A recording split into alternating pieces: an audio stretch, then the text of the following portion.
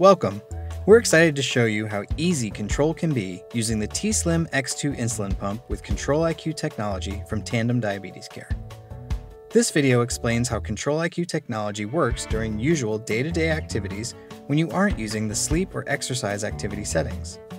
To learn more about how to use the sleep and exercise activity settings, please watch our other videos.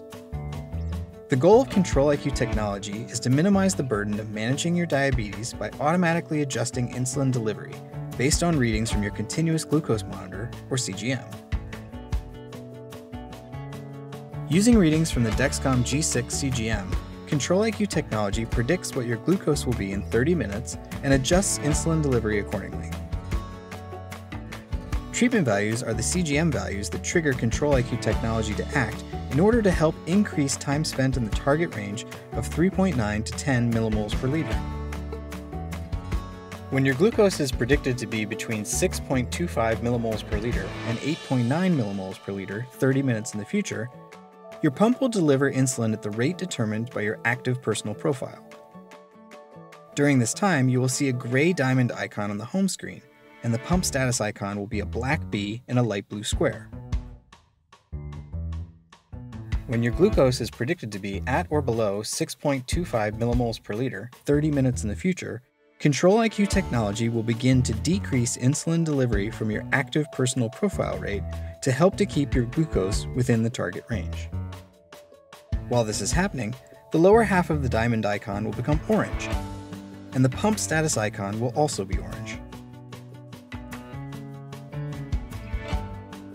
When Control-IQ technology predicts that your glucose will be below 3.9 millimoles per liter 30 minutes in the future, basal insulin delivery will be stopped.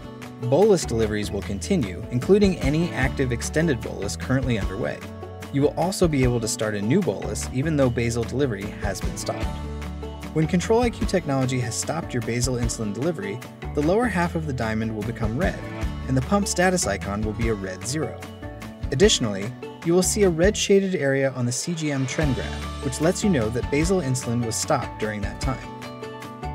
Basal insulin delivery will resume once your glucose is predicted to be above 3.9 millimoles per liter 30 minutes in the future. When Control-IQ technology predicts that your glucose will be above 8.9 millimoles per liter 30 minutes in the future, basal insulin delivery will be increased.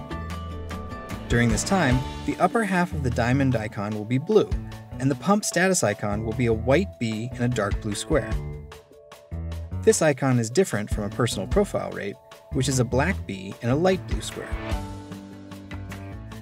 When Control-IQ technology predicts that your glucose value will be at or above 10 millimoles per liter 30 minutes in the future, and when Control-IQ technology is either increasing insulin delivery or delivering the max basal rate, the pump will deliver an automatic correction bolus to help return you to the target range.